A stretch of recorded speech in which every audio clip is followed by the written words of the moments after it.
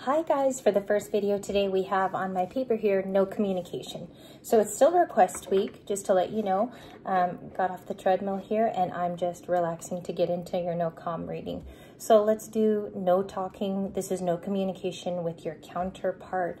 The first card stating the hanged man. I also saw this in the pre-shuffle. It's Pisces energy of somebody taking a pause to reflect on this counterpart relationship it's it's needed. You know, sometimes you need a break to step away from it, clear your mind. That's a very good advice card. We do have on your split the chariot. You could be dealing with cancer. The other one, as you saw me, is the tower with Aries and Scorpio. And then we also have the page of wands. Could be learning about some news or you had some heavy revelations between now and maybe last night. I would say like if some of you are truly right now on your path making corrections, and also going into a direction also where it serves your highest purpose. No communication is a very serious type of reading that I do on the channel. So we're going to definitely get into it. Again, you have the chariot. Somebody could need to travel, okay, to talk to you. Let's just check what's next. We have a hermit. Ooh, that's interesting. Hermit with Virgo. Libra comes in with the Six of Swords and the High Priestess. On some level, you um, I feel like you can feel this person. I feel like you're no communication. You could feel what they're going through, especially if both of you once upon a time were very, very close. They could be a little Cancerian, maybe Virgo in their chart, or it's the other way around. Um, I also have three helper cards today for no communication. So it's, it's interesting, okay? You have a lot of pentacles, again, from me as a reader on this channel. You have a Taurean card here, and you also have the Three of Pentacles, which is more Taurus, Virgo, Capricorn. When you discuss this in no communication, it could be that both people want to um, see a truce come to mind or both people need to talk and work it out because overall the Three of Pentacles is collaboration and it's also working together. I think they want to, like that's the message I got from the Three of Pentacles conducting it today. And the Six could mean that both of you need to be reciprocal and give it a try. Maybe both of you need to talk and it be a heart to heart because the Six of Pentacles is, is I'm reciprocal and you're also bringing it toward me. So we'll look at that. Um, it's interesting that it's Pentacles, again, for feelings, but we also have changes coming with a hot air balloon into your life. You could be seeing a lot of 555 happening. And if the journey is difficult, the one thing that's always the constant is that you're in tune with your spiritual prowess, also, the fact that you could be very thankful and showing gratitude uh, in a situation that has been somewhat quiet because no communication, obviously you don't know what this person is thinking, feeling, or seeing in their life. You might have a construct of what it could be, but until you hear from the person's mouth. Um, I do believe that they want you to know that they're going through a period of change. This can also be their card. So they could be going through something rather heavy and you are getting a little bit of signals coming from that person. Maybe a lot of you are still very, very in tune with this person. Let's break it in for no communication, please. I'm going to keep the chariot here. It's a very interesting thing to see. And if you don't mind, also the Virgo card of uh, being alone and isolated. I think if you are the Hermit Libras, like if you resonate with Virgo energy, it could be really important today to um, understand that this path is a major arcana and it's serving you in a place where uh, you get advice from different sources. You know, you probably watch a lot of readers each day and being a hermit is not all that bad, right? There's a lot of things where I could be too isolated or sometimes I'm too alone. This card could be looked at today as there's probably a reason why you're being held back. Uh, maybe like, it's almost like a blessing in disguise, that hermit card. Okay, so let's get into it. Um, the recent past between these two, the devil with Capricorn is showing up. King of Pentacles. Okay, this person could be earning more now, um, more stable than when you last left them. King of Pentacles talks about they focused on their money and their monetaries and they've risen up as well there. I think there's some form of obsession between the two of you. The devil card can show that both people are spying on one another or there's some level of watching one another. I would be careful with that only because it does not serve your highest good. You know, a lot of people won't even say that to you in a tarot reading is that the devil card being here can signify that both of you are doing that too much to one another. Maybe they're unaware too that you have information on them in that card. We have the Page of Pentacles. In the recent past, there could have been a gathering between you two. I sense, and it's only because this card came up, it's interesting that it's a page. In the recent past, some of you could have met with this person, had a coffee here, spoke to them again. Um, I do believe that there was some type of offer of friendship. Maybe it didn't work out because I'm guessing here, you know, in no contact for this to show up is a little bit more obsessiveness that went on after that initial friendship with the Page of Pentacles.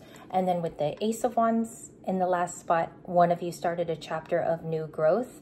It was very important for your personal health. And I think that that's what's bringing in this change is this card here, but it was good for you. So we have a very positive card here about um, emotional restoration, then you walking into change with that unicorn uh, and the hot air balloon. A lot of you expanded during that time because hot air balloons and readings indicate that there was an expansion of soul, that there was something that was broadened here. And maybe some of you received information during that time that helped you as well. Could have been a reader or it could have been just watching something amazing that helped you through a difficult time with that hot air balloon.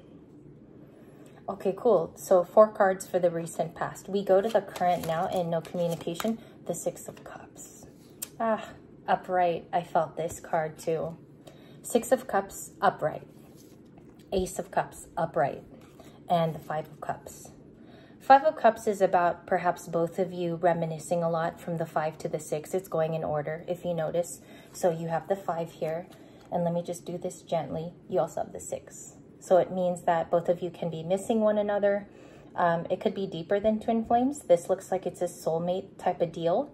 The Six of Cups is with fairies, if you see right here uh, on my left-hand side. There is like a longing, a craving energy, okay, with both of you having sentimental feelings. Uh, if you were married to this person previously, I do think that they still care about you. If there are children involved, of course, there's plenty of emotions that are still involved. So, and some of you, it was just a long-standing relationship in the current, it looks like they're missing you quite a bit or they miss memories with the Six of Cups. Clarify the Six of Cups in the current. Ooh, these are kind of sad for me to do, but it was next on the list. Uh, Knight of Pentacles, Taurus, Virgo, Capricorn. They're slow to get an idea to you. Maybe some of them do need to talk to you about a particular issue um, they view you as family in the Ten of Pentacles and they see that you're working on your future. You are doing a very good job here, Libras, of uh, picking up past wounds and transmuting the energy. You could even be transmuting it into finances right now for you and your kin and for your better wealth. That's also talking about an inheritance. Maybe some of you have a family inheritance too that's lined up for you. It's on paper type of thing is what I'm getting. So some of you could be earning that um, even despite something that you've gone through that's rough. I believe that that could be an incoming reward for you. And we have the sun. The sun talks about a happier time beginning. It's also the happiest card in the deck in any reading that you see. And it also talks about someone's general health. If we talk about health as a person, I think you moved on. That's what the cards are saying. And you dealt with it in due time. So they could just be missing maybe memories of you today technical memories of both of you. Maybe holidays, anniversaries. Um, they're looking at you in a soft way too, which is interesting. It doesn't have any anger toward it or anguish. It's looking like they have a soft spot for you with the Six of Cups, clarified with the Sun. Six of Cups a little bit more. Eight of Swords, this person's really restricted or they feel like they can't come and talk to you. The Eight of Swords is about imprisonment and feeling like they are restricted they could purposefully be hermiting. Some of you might know of their hermiting is what that's explaining because they have two cards to show isolation. That's at least what I'm getting. Also, the fact that they could be slow due to a deterrent. It could be a friend, a family member, or somebody that keeps them at bay from speaking to you. In the Taurus, they could even have, I don't know if they like know a Virgo, but Virgo's popping out a lot. Maybe a Leo and a Virgo have influence here maybe younger Leo too, to get very specific. What are these people saying if they, what's their advice if there's outsiders? For them to stay single, For some of you, there could be a younger Pisces, Cancer, or Scorpio that was attached to you. There could be influence here from friends. I see. I actually see that a lot in the reading. Also, the advice is to stay single until they find something. What else was their advice if outside family members got involved? Thank you, Spirit. King of Wands, con continue dating. Okay, that's the King of Wands. Continue to stay single. Heal with the Six of Swords. Heal their heart. Uh, Six of Pentacles, give back with what is reciprocal in their life. People who show them reciprocity. I believe you showed them this, though, in the Six of Pentacles. Um, I don't know if this advice is exactly correct, but we'll see as we continue. Seven of Pentacles to work on their finances. So it looks like outside people advise this person to stay single. Uh, that's as, about as much as I have. And also to work on their finances and invest in other areas. Now, if that, if that part checks out for you in the reading, because I have to be very careful with this part, I think both of you went into your own Six of Pentacles. You have the card in the beginning. This person has their own version of it. So you guys went off on different roads and you found that you could be reciprocal to your own general people or your situations. Um, there might have been a separation here that needed to happen for a particular reason, but I want to find out their current feelings today. The Magician. Gemini, Virgo. I'm going to get three cards for how they feel about you. Um, they've been manifesting some sort of talk, or this could be physically seeing you.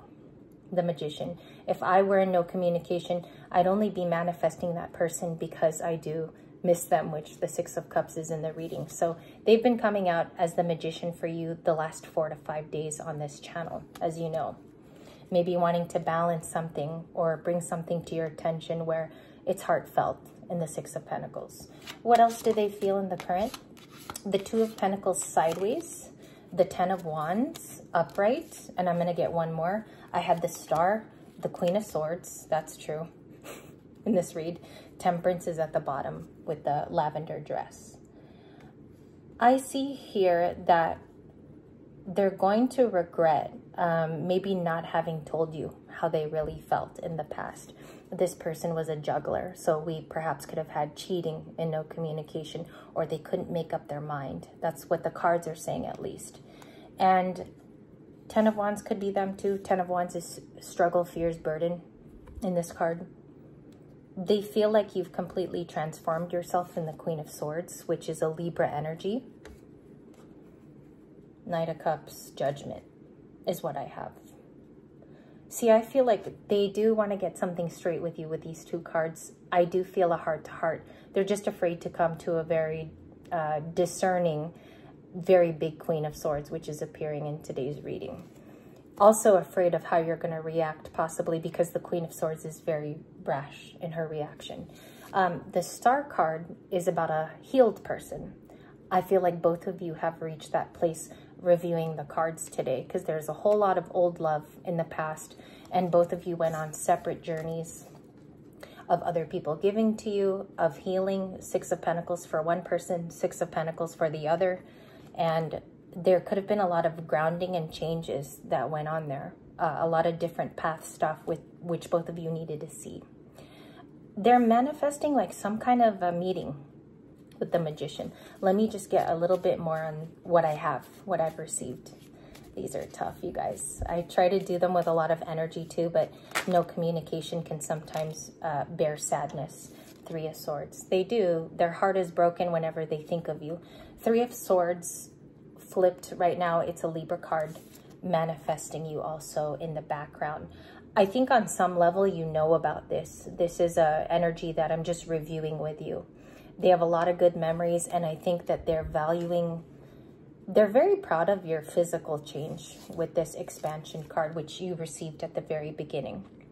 Very proud of what you've become. And I think this person is secretly rooting for you too, um, if there's no bad blood here in the past. I think I'm going to do a part two on no communication. So I'm, I'm not sure how, what you guys feel about that, but I would love to deliver another one. We have the lovers in some case, the death card and the high priestess. That's correct. High priestess could be you, Libras. And I also think with a lot of sensitivity, this person's reminiscing on this particular card. I do want to thank you for your time. No communication has always been rough for me. If you guys even watch old no communication videos, I get super sensitive in them. And so I just wanted to say, take your messages. If this one wasn't your video to start off this morning, that's okay. We're going to get you on the next one. Um, we're going to find you somewhere in the next few readings. I want to thank you for your time this morning. Thank you, Libras.